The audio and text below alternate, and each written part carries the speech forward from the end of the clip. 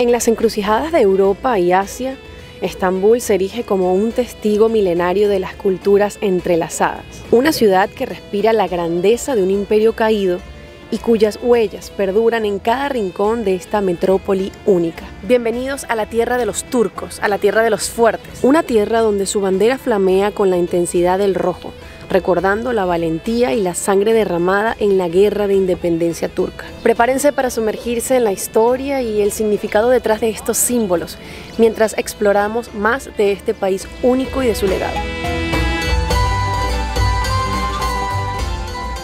Comencemos nuestro viaje explorando los magníficos monumentos que definen la esencia de Estambul. Yo creo que esto tuvo que haber sido así y es definitivamente visitar uno de los monumentos más importantes, la inmensa, miren acá, el otro minarete realmente es enorme, la mezquita azul de Estambul o también como es conocida la mezquita del sultán Ahmed, hecha obviamente por este hombre, por Ahmed I.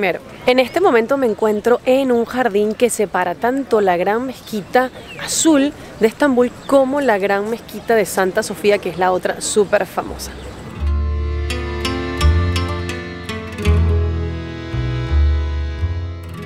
El estilo de la mezquita es de arquitectura otomana clásica, tiene una capacidad de aforo para 10.000 fieles y ese color tan característico a su lado que ven son de miles y miles de mosaicos. En la parte inferior y en cada pilar, en el interior de la mezquita, Está revestido con más de 20.000 azulejos de cerámica hechos a mano y fabricados en Iznik, la antigua Nicea, con más de 50 diseños diferentes de tulipanes. Los azulejos de niveles inferiores cuentan con un diseño tradicional, mientras que en las galerías este es más llamativo, con representaciones de flores, frutas y cipreses. La decoración incluye versos del Corán.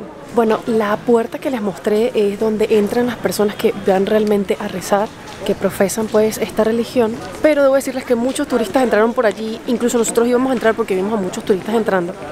Y salió el señor vigilante y dijo, los turistas por allá, por favor, ya había entrado un grupo, así que pues nos redirigieron a esta zona que está en obras, debo decirles, en muchas partes cerrados, están siendo el mantenimiento. Y es que bueno, estos azulejos muchos han cambiado de color de azul a verde, los que eran rojos ahora lucen marrones, y es debido al paso del tiempo, así que pues... Mm, hay muchas cosas en obra. Esto yo me lo traje, pero en la entrada lo están dando para los turistas sin ningún tipo de costos.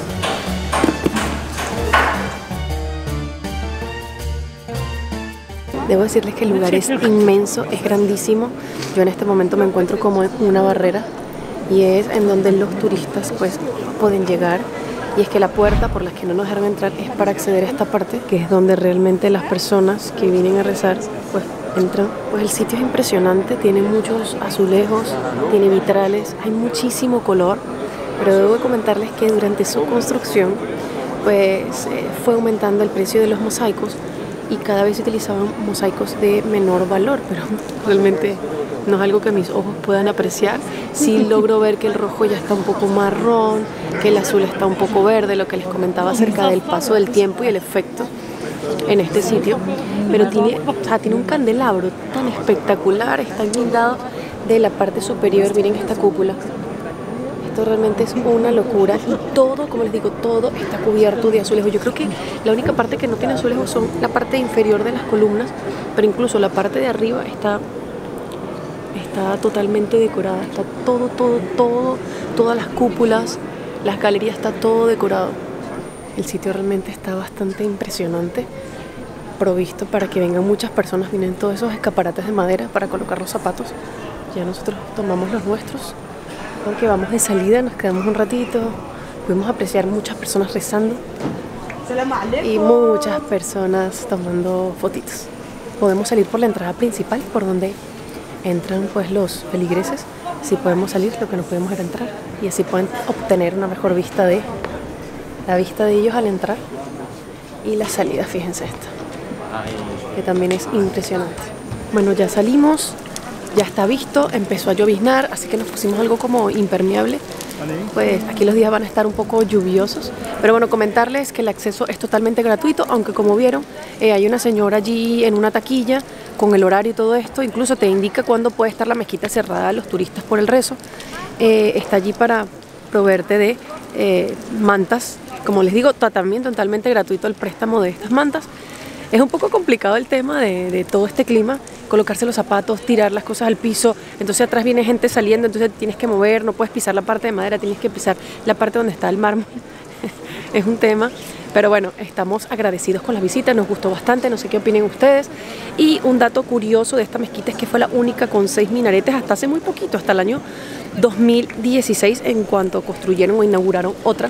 Pero esta era la única en toda Turquía que tenía seis minaretes. Los minaretes pues son estos, estos pilares, pudiésemos decir, que normalmente suelen ser cuatro, eh, pero esta tiene seis.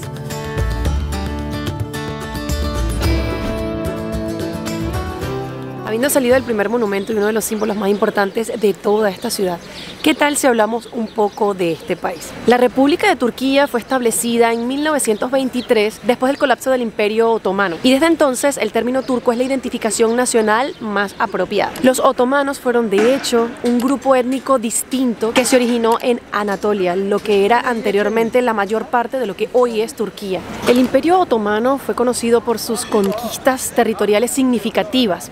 Desde sus inicios en el siglo XIII se expandió desde Anatolia hacia el sudeste de Europa, el norte de África y el suroeste de Asia llegando a su máximo apogeo territorial en el siglo XVII. Problemas de sucesión presión de las potencias económicas y la Primera Guerra Mundial resultó en la desintegración del imperio en 1923 y la creación de la República de Turquía bajo el liderazgo de Mustafa Kemal Atatürk. Por lo que en su mejor momento, y escúchenme bien, el imperio abarcó el norte de África, los Balcanes, Grecia, parte del Medio Oriente y el Cáucaso. Miren, dato súper curioso que ya hayamos llegado acá a esta otra mezquita tan representativa, la, mezquita de Santa Sofía, y es el hecho que pues durante muchos años sirvió para propósitos religiosos de muchas diferentes religiones.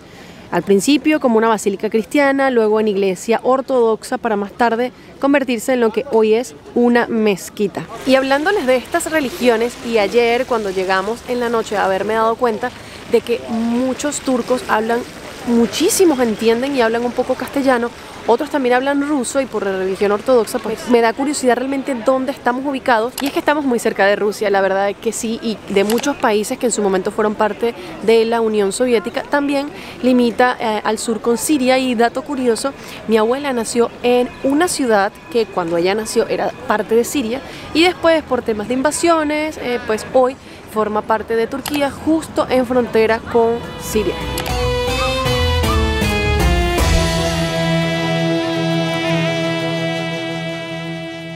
Estamos pasando por estas tiendas y no puedo evitar aprovechar este momento para comentarles que este país, Turquía, es conocida por ser un productor diversificado en muchos sectores, pero uno de los principales es la producción de textiles y entre ellos pues las alfombras. Gabriel ya está allí hablando con el señor, como les decía, todos hablan inglés, o sea, la gran mayoría es muy común. Miren aquí, por ejemplo, estas armaduras otomanas están increíbles y ya hemos hablado de eso bastante, pero fíjense, realmente es bastante impresionante, imponente la armadura como lucía. Miren esto para las especias y aquí arriba algunos adornos de, pues, como es la tetera para hacer el café, algunos lingotes de oro y creo que es algún tipo de encendedor porque aquí atrás eh, hay otros. Y fíjense acá pues el, el, el, baile típico como es representado aquí con por esta persona. Bueno aprovechamos que el sitio tiene las estampillas porque no sé a veces se nos pasan las, las oficinas postales verdad Cabo que a veces ni las vemos. A veces, a veces nos vamos del país. Nos Ay, sí. Entonces bueno aprovechamos este sitio turístico que las tienes y las compramos. Aquí pues están los precios de lo que puede costarte en la oficina postal, pero en este lugar ambas nos salieron en 50 libras turcas, que es la moneda del país.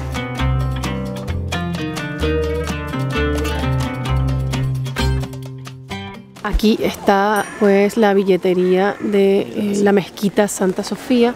La entrada, a diferencia de la azul, eh, cuesta 25 euros la otra era totalmente gratuita, eh, algunas personas haciendo fila. Y muy importante, aquí también te alquilan las cosas, si quieres pues auriculares en donde te dan una guía, cuesta 100 liras, eh, si quieres taparte solo la cabeza te lo van a alquilar por 30 liras. Y si quieres taparte el cuerpo entero, fíjense allá en el fondo haciendo un poquito de zoom, eh, que venden la ropa entera por 75 y si ven pues las chicas que están en la entrada tienen falda. Entonces sí, ellas necesitarían en ese caso la tercera opción, esta que está aquí, que es la de 75, las que le cubre el cuerpo entero. Así que, bueno, esta es la gran diferencia entre una mezquita y la otra. Bueno, ya Gabriel fue por nuestras entradas mientras yo me esguarecía un poquito aquí sentadita de eh, la lluvia porque empezó a llover un poco más. La entrada pues a la mezquita está en 25 euros, ni siquiera está en libras, ya está incluso pues con la moneda europea. Eh, y la entrada al museo con mezquita está en 47 y ustedes dirán, ¿cómo museo? Bueno, este lugar no siempre fue un sitio de culto, un sitio de religioso.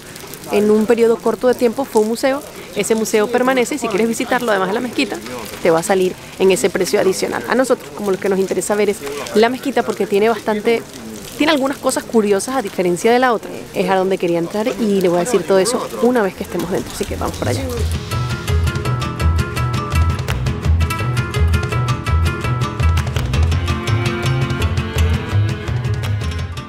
Ustedes ven esto y dicen, wow, Angie, qué viejo. Se ve bastante viejo. Hay plataformas de madera y vidrio para caminar por entre la mezquita sin tocar pues nada original. Y es que esta mezquita data del 537 después de Cristo, o sea, estamos hablando de 1487 años de antigüedad. Es bastante vieja, así que pues es bastante preservada, querida. Y lo extraño es que para el momento de su construcción tenía como varios récords, actualmente mantiene uno bastante impresionante para lo vieja que es. Bueno, ya llegamos a una parte un poco más abierta, no es el área principal, pero dato curioso, entramos por una puertita chiquitita porque estábamos como recorriendo un cuadrado y subíamos y subíamos, o sea, no tiene una entrada como casi todas. Y ahora entiendo por qué, porque en este pequeño lugar en donde llegamos, porque es pequeño porque lo que estoy viendo de la izquierda es bastante grande, es porque estamos por encima del área de oración y seguramente es porque este es el área en donde pues los turistas pueden, pueden acceder. Vamos a ver. No, no he llegado a ver, es solo de lejos y mi reacción va a ser la reacción. Por Dios, miren esto.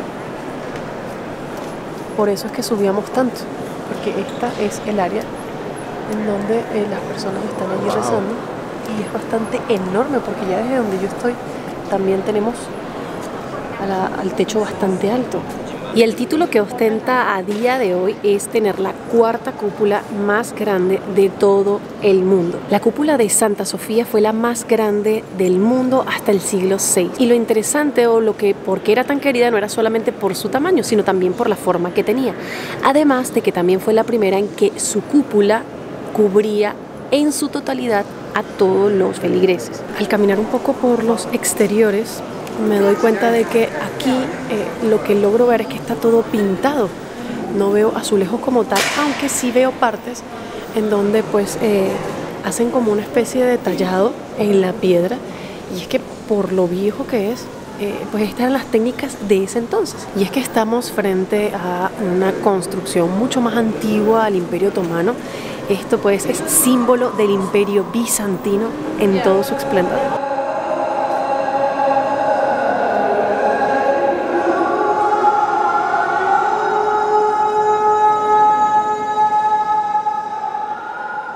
¿Se recuerdan que pues hace ratito les comentaba que lo que lograba ver en el techo eran puras pinturas? Sí, es cierto, pero también podemos conseguir algunos mosaicos impresionantes debido al color que tienen, al tiempo que tienen y a los chiquititos que son. Fíjense, este en este momento que están viendo es la Virgen María con su niño y este que están viendo en este momento en el centro se encuentra la Virgen María y el Niño Jesús. Y pues sin lugar a dudas este es uno de los más impresionantes que he visto es bastante bonito, se ve impresionante. Está, pudiese decir que solo queda un 20% del mosaico, este mosaico bizantino, tiene acá abajo una representación de cómo lucía cuando él estaba entero. Miren qué impresionante. Y pues dato curioso de esta ciudad es este letrero verde que aquí abajo está traducido y dice así. Constantinopla y entre paréntesis Estambul. El dato curioso pues es este que hemos escuchado mucho hablar de Constantinopla y pues es lo que hoy conocemos como Estambul, donde nos encontramos hoy en la grabación de este video y el mensaje dice así: Constantinopla será seguramente conquistada bendito el comandante que la conquiste y bendito su ejército. Y es que sí, estuvimos hablando del imperio bizantino, de que a Estambul antiguamente se le conocía como Constantinopla, y es que esta ciudad fue la capital del imperio romano de Oriente, conocida también como imperio bizantino. Constantinopla fue llamada desde un principio la Nueva Roma por haber heredado la capitalidad de un imperio en un momento de crisis en la ciudad de Roma que se había vuelto ingobernable, llegando a ejercer su poder en todo el imperio.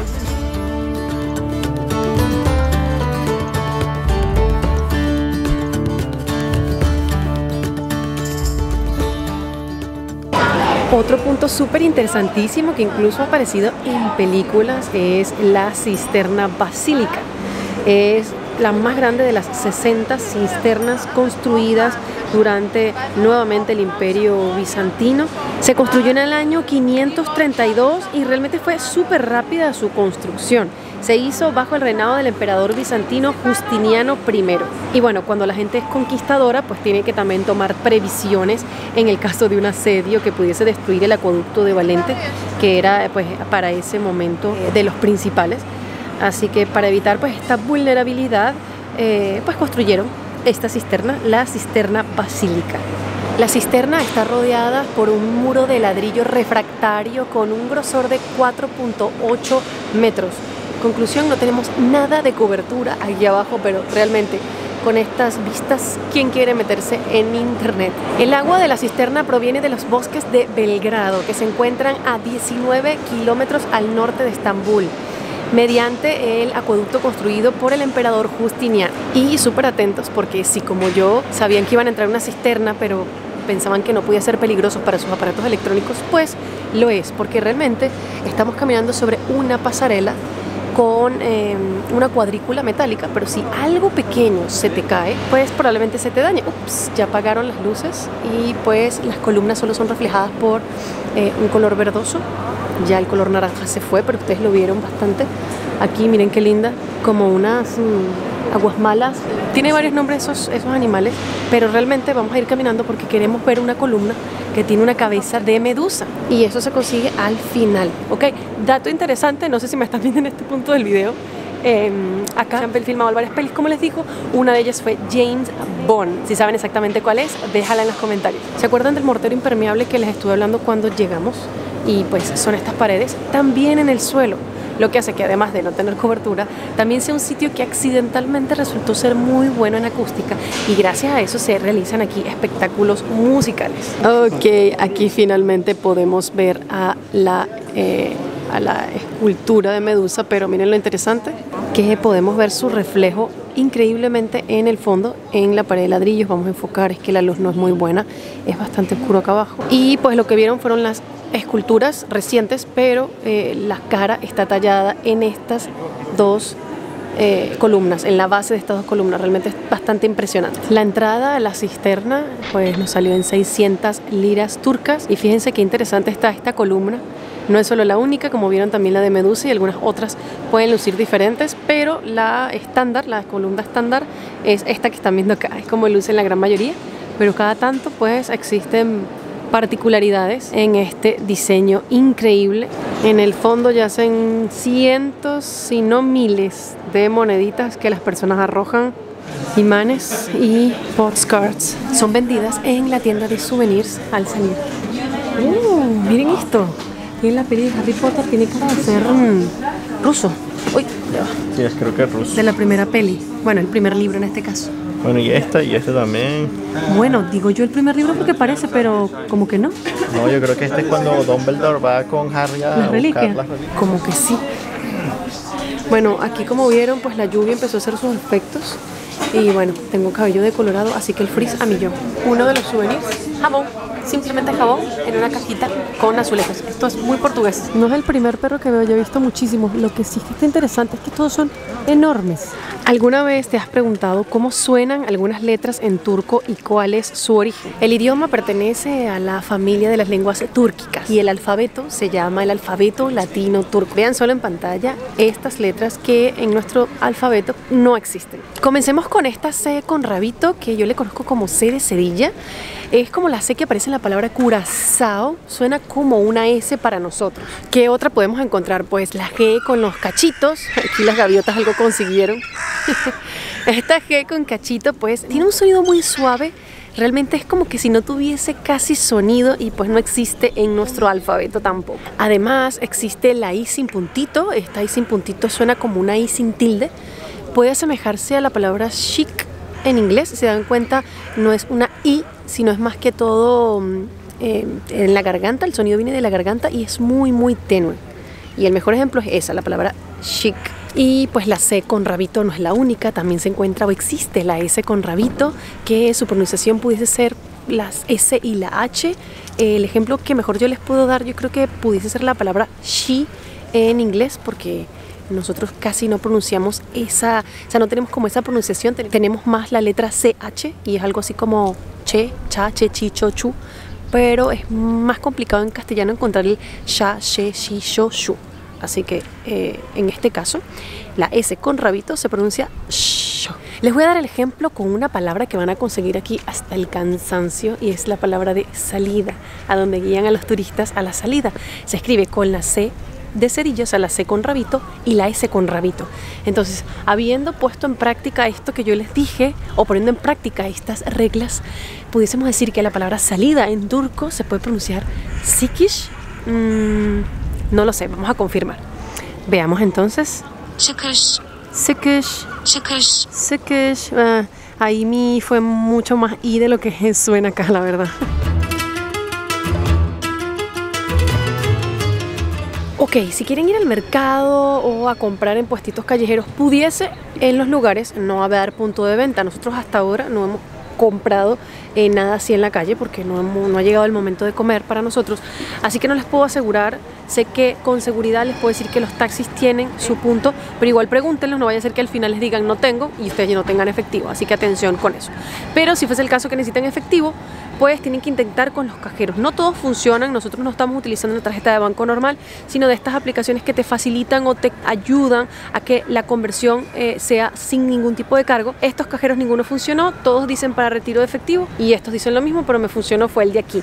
Tengan en cuenta que la comisión del cajero por permitirme sacar alrededor de unas 2.000 libras fueron de 150 libras la comisión. Así que tengan esto en cuenta por si les sale mejor. En el momento que cambian, hacen el cambio en la casa de cambio, recuerden nunca hacerlo en el aeropuerto porque siempre donde es más caro, traten de hacerlo ya en la ciudad y pues saquen su cuenta cuánto estarían perdiendo de comisión por hacerlo en casas de cambio a diferencia de sacarlos con su tarjeta de banco convencional. Pero recuerden que aquí la comisión fue solamente del cajero y no por parte del banco. Creo que hasta el punto de este video ya han escuchado hablar acerca de los costos. Acá es la lira, pero un dato curioso, y habiéndoles hablado en el clip pasado acerca de cuál es la mejor manera tal vez de cambiar o algún tip, pues es que la palabra lira proviene del latín libra, que significa peso y se utilizó originalmente en Italia. Pues esta es la bandera del país presente en un edificio hasta dos veces. Es bastante particular, muy fácil de identificar. Fue diseñada por Mustafa Kemal Atatürk, que ya pues no es primera vez que lo nombro en este video. Y pues lo que tiene es una media luna y la estrella blanca reflejando la profunda conexión que tienen con la fe islámica. Y el color blanco pues de estos dos símbolos eh, significa pues o simboliza la paz. El rojo pues la sangre derramada en las batallas, así que pues es bastante interesante. Yo creo que si la ven una vez ya saben que es la bandera de Turquía y no se van a olvidar. Miren, Shakerita está en el fondo haciendo de las suyas y cantando, así que yo salgo de la tienda. Eh, la tienda es impresionante, vende delicias turcas y vende la variedad más extensa que había visto de baklava en mi vida. Yo pensaba que el baklava que yo siempre había comido era el único y la verdad es que no, que son muchísimos. Así que vamos a echar un ojito a ver si compramos porque eso se ve deliciosísimo.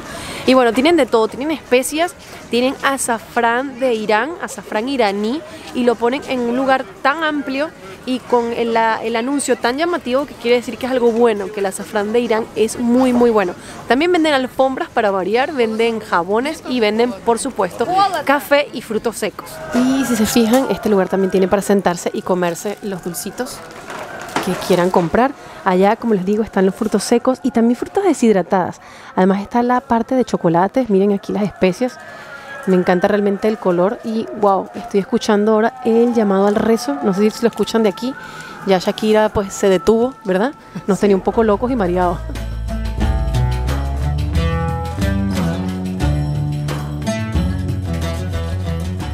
Bueno, miren, yo sé que ya habíamos comprado en otro lugar, pero resulta que a media cuadra estaba otro lugar de venta de dulces y no pudimos resistir al ver pues más variedad, más mojadito, pues el baklava de muchas otras formas. Y yo estuve investigando y pues resulta que entramos por casualidad y es la dulcería más antigua de todo Estambul, data del 1800 y tal. Así que no podíamos dejar de no venir. Aquella era porque la teníamos en la patita, pero yo sabía que este iba a venir, solo que no sabía que iba a entrar por casualidad. Y compramos y todavía no me había dado cuenta que era pues eh, la tienda de venta de dulces más antigua de eh, Estambul. Bueno, ya, yo no sé si ustedes habían visto a Gabriel en este video. Vamos a quitar esto de aquí porque lo, lo tapo todo. Pero bueno, llegó el momento de comer, finalmente, de romper el ayuno y comer. Eh, fue difícil escoger el sitio porque el menú Sí. es demasiado extenso y las personas realmente no te dejan ver. Lo que sí es que en la mayoría de los sitios lo que te ofrecen es prácticamente igual, solo cambia uno que otro plato, pero el resto son como muchas cosas Y ojo, parecidas. los precios Ah, eso sí varían. cambia. En un lugar, o sea, puede ser de dos y en el otro cuatro, o sea, puede ser el doble. Sí. Así que, bueno, más que la comida, estén atentos también al precio. Y bueno, obviamente, la calidad, pues ya te tocará probar y ver eh, qué tal está. Pero bueno, nos quedamos aquí porque el chico nos insistió y nos insistió bastante. Nos ofreció la luna y las estrellas.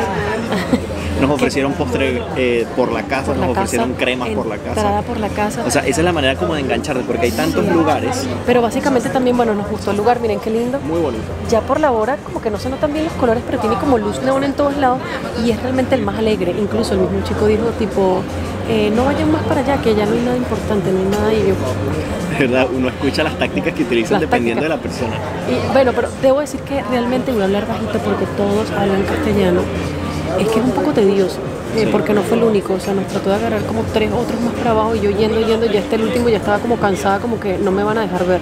O sea, por más que yo quisiera recorrerme toda la calle, todos, apenas yo me parara a ver el, el- Sí. el menú, todos iban a poner, yo estaba un poco cansada, yo ok, me siento, pero sí es un poco tedioso. Pero bueno, ya pedimos, eh, nos van a traer una salsa por la casa, como dijo Gabo, no sé qué nos van a traer. Eh, Gabo se pidió eh, un grab, que en este caso es un, un kebab. Exacto, un doner de cordero. Exacto, exacto, un enrolladito de cordero y yo me pedí un plato de falafel, así que bueno, vamos a esperar que llegue y se lo vamos mostrando. Aquí ya llegó la comida, Gabrito se pidió un durum kebab de corderito y yo me pedí un falafel que trae una cremita, Gabo se pidió unos tabaquitos y la- las entradas que ellos ofrecieron pues no han llegado. Yo no sé si esta gente se están haciendo los Willy aquí solo ha llegado lo que hemos pedido, igual vamos a abrir ese pan a ver, capaz ahí dentro en el pan hay un relleno de alguna cosa, pero entre tanto... Aquí pues nuestra comidita. Bueno, listo, ya terminamos de comer.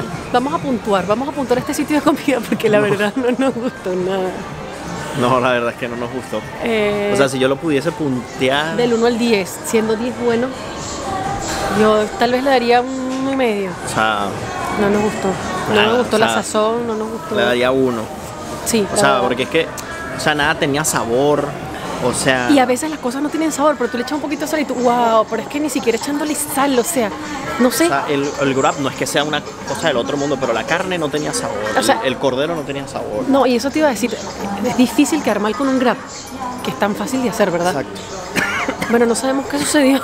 El tabaquito estaba duro, frío, como que si lo sacaron de la nevera y me lo pusieron en Ah, el plato. cierto, ¿verdad? Estaba tieso. Gabo hasta los dejó. Porque yo todo lo demás dejé, nos no los pude comimos comérmelo. como juro. O sea, no nos gusta dejar comida realmente, pero Sí. Pero en ese caso, pues lo tuvo que hacer. Y bueno, ¿qué otra cosa comentarles? Que las entradas realmente las trajeron porque yo se las pedí. Y tipo, le dije, mira, el señor de la entrada nos ofreció unas entradas. entradas. Si el señor se hacía el desconocido, era realmente porque queríamos más comida. Porque resulta que mi plato era mínimo, mi plato era como una entradita y era para pedir otra cosa. Pero él me dijo, sí, sí, yo se las traigo. Pero él ya había traído todo lo que ordenamos y había pasado ya mucho rato. Así que, bueno, thank you. Ah, epa, y nos ofrecieron dulcitos y no Dulce nos y mm, mm, nada de nada. Pero yo dije, no, mira, sí, ya yo tuve que pedirle la entrada. Los dulces. Eh, los dulces ya no pienso pedirle dulce. Y bueno, ya como habíamos comprado, ya tenemos aquí nuestra bolsita.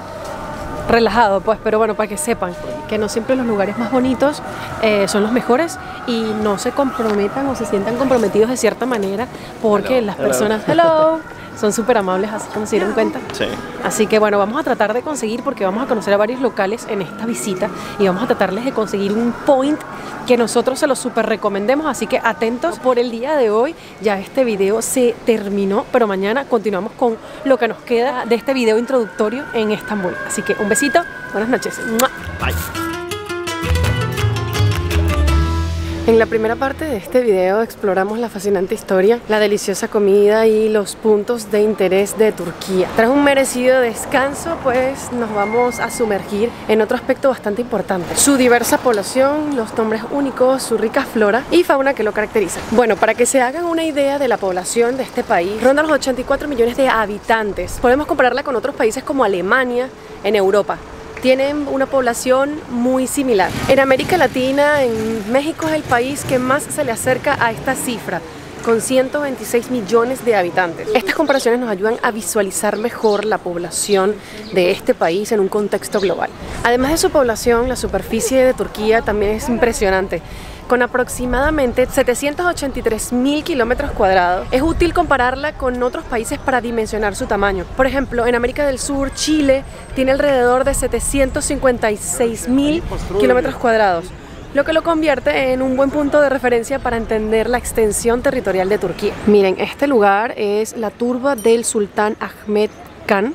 Aquí se encuentran 36 personas pertenecientes a la familia de la dinastía otomana enterrados, incluidos tres sultanes y el sultán Ahmed. Y pues en este momento estamos viendo la tumba del sultán Ahmed.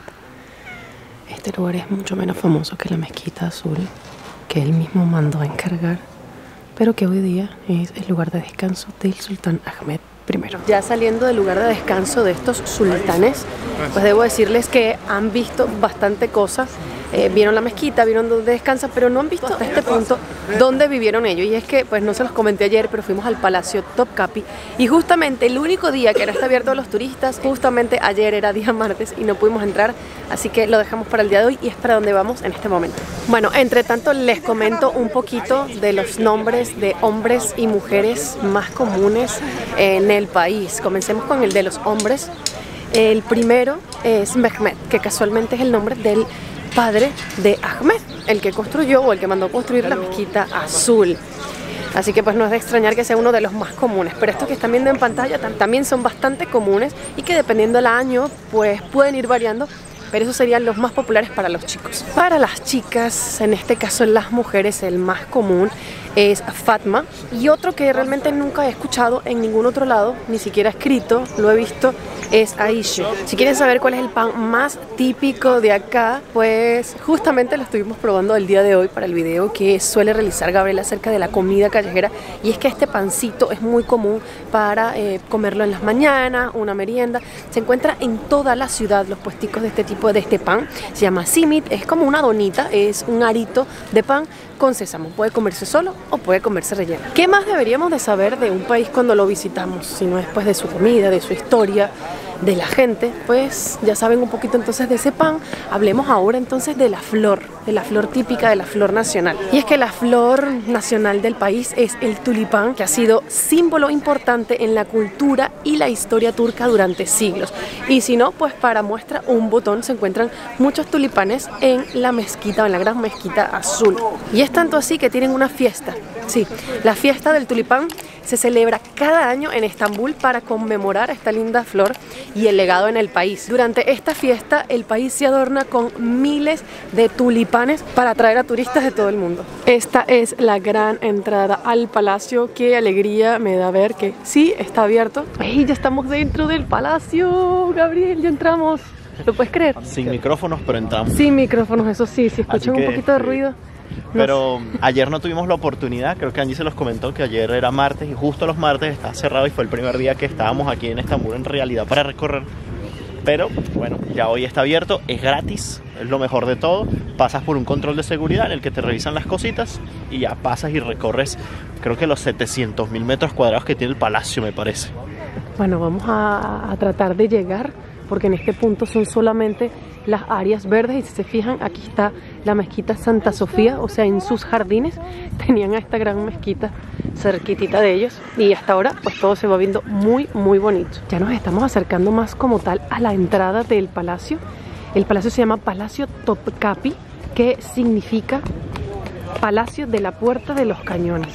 Esto pues ya está previsto para turistas, en el fondo una tienda que se llama Museo Shop, eh, aquí un lugar para tomar café, comer delicias turcas, eh, también está la posibilidad de tener un guía y por allá veo taquillas, entonces capas y si es pago y solamente es gratis el acceso a las áreas verdes. Así que bueno, vamos a estar averiguando. Bueno, la audioguía es totalmente gratuita y se escanea con el teléfono. De allí la importancia de tener acceso a internet. La escaneas y colocas tu idioma y vas escuchando. Corrección, hay que pagar 47 dólares para poder entrar. Sí, son 1500 eh, liras turcas. 1500 liras turcas. Lo único que puedes entrar es como esta área de los jardines externos que es lo que te da acceso para poder entrar ahí a la taquilla para comprar. Así que bueno, vamos a pagar los 47 y entramos. A ver cómo vivía pues, un sultán, porque hasta este punto no se los había dicho, creo. Es donde pues vivían los sultanes. Ahí vivían los sultanes y bueno, me parece curioso visitarlo porque aunque ya hemos visitado otros palacios y tal, esto es ya otra cosa diferente de, de lo que hemos visto, por ejemplo, en palacios de España, en Francia, en Versalles y tal. Esto es algo diferente. Vamos a ver cómo vivía un sultán a diferencia de un rey. Seguro tenía bastantes azulejos, me lo temo. Así que vamos a ir a ver. Pues. Miren, si ustedes quieren venir, el horario de apertura del palacio va a ser de 9 a 6 de la tarde y la taquilla va a estar abierta de 9 a 5. Así que pues a tener eso en consideración para mostrar allí la entrada, Gao. Menos mal la audioguía es gratis. ¿Cómo no se va a hacer gratis si la entrada cuesta esto? Nosotros estamos infartados aquí con el precio. Que no, tranquilo que la audioguía ya te la, ya te la están metiendo aquí. Por favor, por favor, gracias. Por allá se ingresa y qué tremenda entrada. Justo donde están allí los controles que te chequean tu ticket pues el techo es realmente impresionante y toda el área que continúa, áreas verdes, bueno, que se caracterizan pues muchísimo en los palacios, áreas vastas de terreno que deben de ser llenadas con algo. Al fin y al cabo, pues ya cuando la construcción es enorme, lo que queda pues los adornan con grandes espacios de áreas verdes. Lo primero que nos encontramos en nuestro camino son pues cisternas bizantinas romanas orientales fueron también utilizadas durante el periodo otomano. La entrada formal que vamos a hacer al palacio va a hacerse por la Puerta de la Felicidad y esta entrada justamente el sitio está lleno de personas, la cantidad de turistas es loquísima, cosa que no vimos ayer que me sorprendió el hecho de que sí vi turistas en la calle, pero no tantos. Pues bueno, hoy ya se aclaró todo y la cosa ya luce muy turística.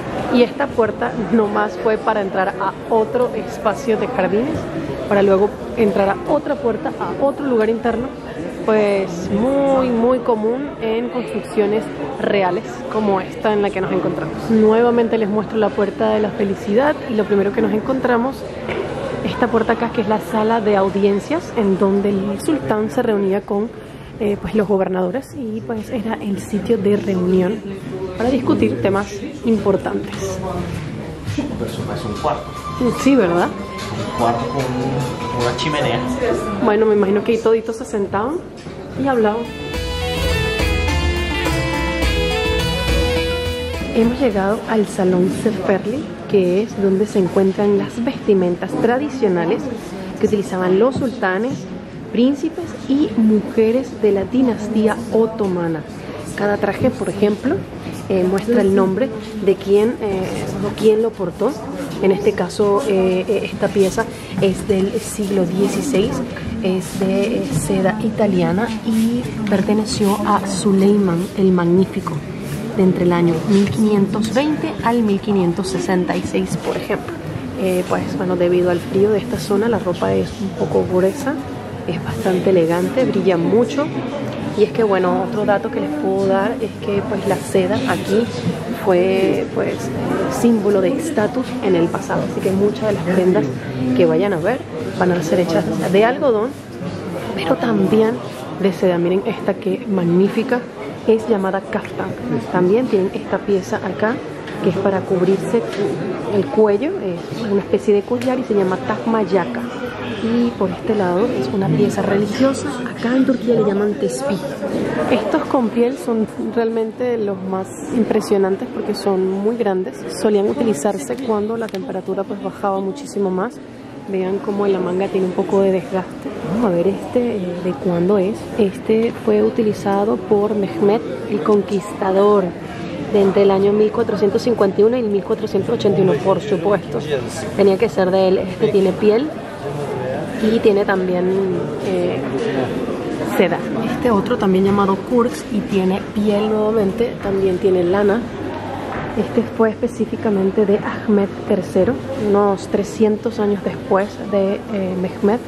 Miren aquí como algunas piezas ya van cambiando. Este es uno de los sombreros y este un accesorio que iba clavado en la parte superior del sombrero. Me imagino que para dar un poco de, de autoridad, no lo sé, dar un poco de altura. Y miren, por ejemplo, una imagen que pudiésemos hacer referencia a esta pieza. Pudo haber sido incluso esta misma pieza la que se usó para cuando esta persona posó a esta pintura. Wow, esto realmente está increíble, no paro de grabar. Y aquí la cosa cambia un poco, me da curiosidad saber en qué año esto fue utilizado. Vean, ya es un poco más moderno. Es otomano igualmente, pero del siglo XIX, para entre los años 1800. Ya pues eh, no es solamente una bata, ya se utiliza un pantalón y una especie sí de vestido un poco más corto que los demás. Nuevamente aparece el sombrero y pues eh, las plumas arriba para, como les digo, dar este, esta sensación de poder. ¿Ok? Y aquí cómo podría lucir en esta imagen de un sultán. Miren esta otra, wow, esto está increíble, está, bueno, realmente muy bonito y siempre se caracteriza pues por el uso de este sombrero que se puede comprar en las calles como recuerdo, como souvenir. Este uniforme nuevamente del siglo XIX tiene piezas eh, también lana tiene seda y, e hilos de plata. Estoy viendo aquí algunos accesorios de eh, las chicas, de que utilizaban las chicas y se pueden ver oro, diamante, rubíes, esmeraldas, marfil, turquesa, porcelana, bueno, todas cosas. Todo esto que le digo que en aquel momento era lo que te daba pues estatus. No van a creer y no sé si lo detallen con la cámara, pero eso que están viendo del lado izquierdo es una bolsita, es una carterita hecha de oro pues el tejido bastante fino pues para, no, para no dejarla rígida y que sea así toda aguadita y básicamente una carterita, eso es todo. De este lado unos arcillos de esmeralda y un collar de coral. Miren esta chaqueta super cute, es para un niño pequeño, pudiese decir 5 años y esta pequeña daga de oro también para él. En esta capa, muy elegante, muy real, la verdad que sí. Y esta especie de vestidito seguramente para usar eh, con un pantalón porque toda esta zona se ve que es ropa de varón.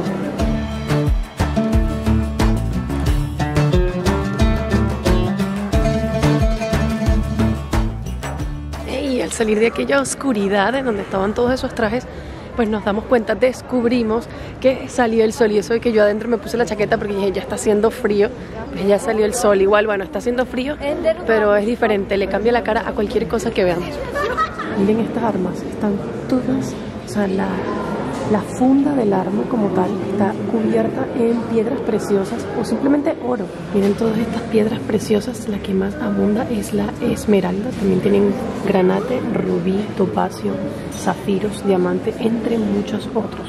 En la época otomana era muy común utilizar pues las monedas eh, guindados de la ropa como tal. Y son estas que están viendo acá.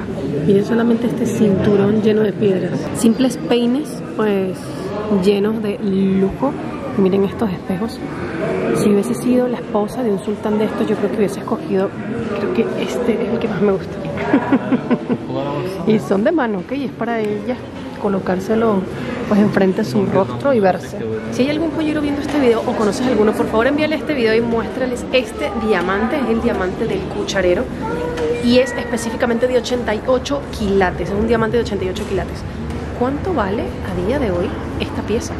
Y al salir del lugar en donde están las joyas, miren en dónde entramos o salimos en este caso, pues es una zona en donde hay una fuente y es simplemente de observación al exterior. ¿Y a dónde?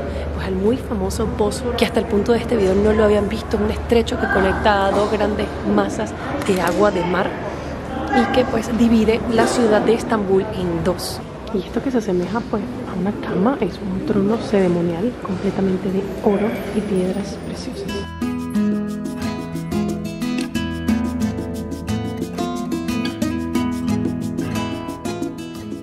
Miren estas piezas de ajedrez, el ajedrez otomano del siglo, datan del siglo XVI y el tablero es un poco más reciente dentro del siglo XVIII y el XIX. Bastante impresionante. y hasta el Corán pues era recubierto en oro, piedras preciosas. En este punto nos hicieron vestir el velo a las chicas y lo que estamos viendo es la huella, la huella del profeta Muhammad y pues es de los sitios más eh, esperados, muchas filas y las personas tomando mucho, muchas fotos. Ahora aquí si ustedes logran ver, esta misma huella está arriba en una especie de cuadro. Y es realmente increíble. Y este accesorio para las mujeres que están viendo, pues es eh, una bufanda que tiene hilos de oro e hilos de plata. Aquí se encuentra en un sarcófago de oro el cardigan del profeta Mahoma y es donde todo el mundo, la mayoría de personas se aglomeran para ver. Es increíble. Y como reza aquí en la escritura, aquí hay un cabello de la barba del profeta colocado allí en ese frasquito.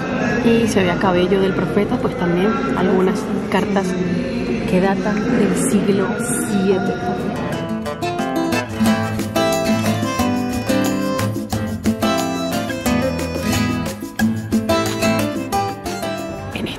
Puedo decir que ya llevamos más de dos horas recorriendo la segunda parte de los jardines, porque este lugar tiene, por decirlo, tres jardines separados por grandes puertas. Eh, la primera parte es la parte gratuita, nos encontramos en la segunda y todavía falta una tercera. Esto tiene muchos corredores, muchos cuartos, en donde pues hoy día funciona como museo, en donde se exhiben muchas cosas como vieron. Es realmente impresionante. Eh, espero que esta parte no se extienda tanto porque realmente no es la intención, pero todo es realmente impresionante. Nunca había visto tanto oro y piedras en mi vida y es que, bueno, obviamente esto fue un imperio muy poderoso y en su momento de los más poderosos, así que no es de extrañarse. Hoy pues el, el, el país vive en cierta medida del turismo y de todo esto que pues se ocasiona gracias al mismo. Y yo creo que por eso eh, también eh, muchas veces ellos o la aerolínea del país se encarga de hacer estas paradas porque es algo que les, les conviene. Fíjense que ya nosotros hemos asistido a tres lugares y en esos tres lugares hemos tenido que pagar entrada que si se ponen a ver, a ellos no les cuesta nada incluir, porque eso lo incluye la parada del vuelo, el autobús que los trae al centro y la guía se la incluye, pero obviamente no incluye estas entradas que al país que representa muchísimo dinero, como se dieron cuenta. Así que bueno, otra alternativa, si les gusta muchísimo los museos, es comprar un pase en el que no incluye las entradas gratuitas, pero por ejemplo esta de 1500 quedaba como en ciento y tal. Ustedes dicen, ¿es una ganga? Pues no tanto porque también el pase cuesta dinero y para que valga la pena tienes que ir a muchos lugares. En nuestro caso, nada más habiendo asistido a estos tres lugares pagos que ya han visto en este video, todavía no es suficiente y realmente son de las cosas más famosas, ya que Gabo, a Gabo de mí no nos gusta mucho ir a los museos, pero si tú eres de que quieres visitarte todos los museos que están en Estambul, ese pase puede ser interesante, te puede convenir, así que solo tienes que sacar tus cuentas a qué lugares quieres ir, cuánto cuestan las entradas y comparas con este pase a los museos. Así que bueno, en este punto, como no sé cuánto más vaya a tardar en este sitio y no me quiero ir apurarme, eh, quiero seguir hablando acerca de algunos puntos de interés o algunas cosas interesantes. Y bueno, antes de que se me vaya el sol, quiero seguirles hablando, aprovechando que estoy un ratito sentadita acá descansando antes de entrar pues a otro cuarto a seguir viendo cosas interesantes de los sultanes. Hablar un poco acerca del animal, cuál es el animal nacional en Turquía. Este animal es el lobo. El lobo ha sido históricamente reverenciado por la cultura turca debido a su fuerza, valentía y habilidades para la caza. En la mitología turca, el lobo también ha sido un símbolo importante asociado a la protección y a la lealtad. Y aunque sí es cierto que pueden ser vistos en algunas áreas rurales, son criaturas tímidas y suelen evitar el contacto con humanos. Hemos llegado a la zona del harén, una zona que quería entrar muchísimo. Para entrar acá necesitan guardar su ticket porque tiene un costo adicional para los que hayan pagado otra zona, porque en el precio de los 1500 incluye todo eso, pero había un precio de 250 que si no me equivoco es para locales, pero para todas las áreas menos el AREN.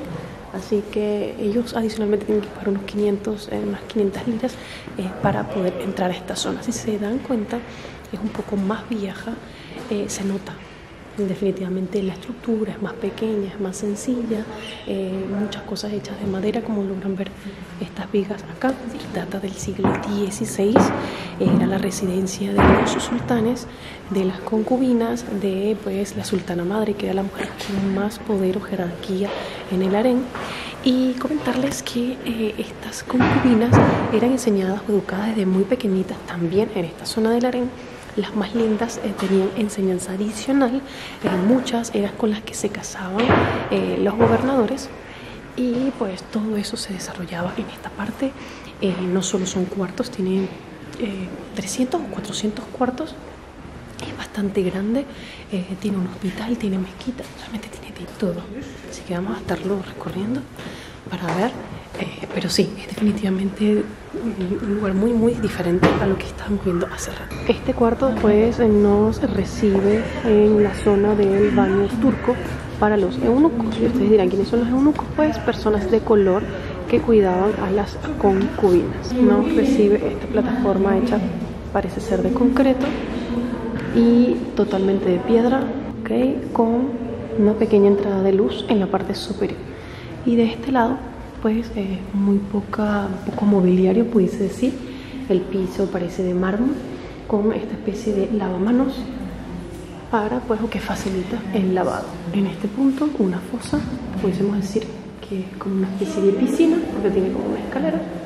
Y de este lado, exactamente lo mismo para simplemente el aseado y la limpieza del cuerpo.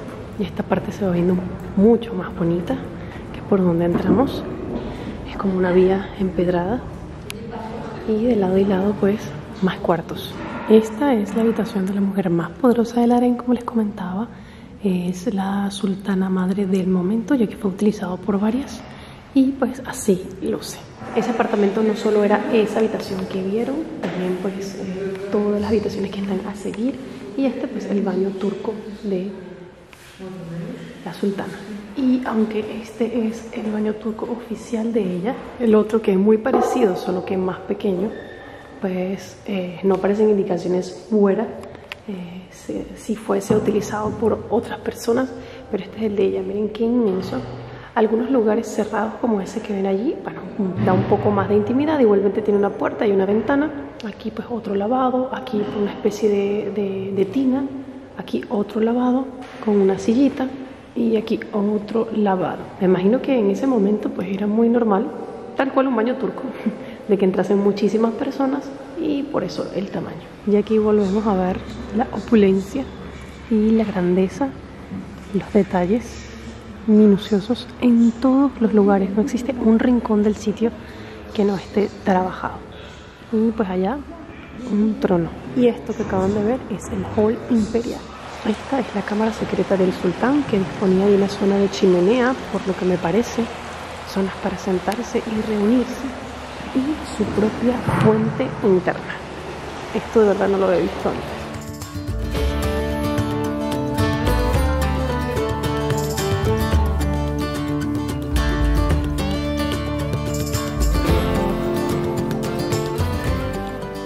Dato súper curioso, los turistas están tomándole fotos a un carro. Y es que resulta que no es cualquier carro. Aquí las chicas policía, cuatro específicamente, están paradas al ladito de un Bentley, un carro de policía Bentley. ¿Sí? Como lo escuchan. Miren, hay muchísimas otras cosas que yo quería decirles en este video, pero ya se está terminando nuestro segundo día y yo necesito grabarles otros videos. Así que esas cosas quedarán para el próximo, incluyendo cómo saben los helados y cómo es el show turco, que debo decirles que me estresa un poquito, pero bueno, si quieren saber cómo fue nuestra experiencia, específicamente en un video de comida, Gabriel se los está grabando, acerca de toda la comida callejera que puedan ver en la calle y también de la comida de la más típica que se puedan encontrar en este país. Así que estén muy atentos para ello, denle click al botón eh, suscribirse para que se enteren cuando seguimos montando videitos. Y bueno, este video llegó a su fin, chao, no lo extiendo más, les mando un besote, cuídense, hasta el próximo, bye.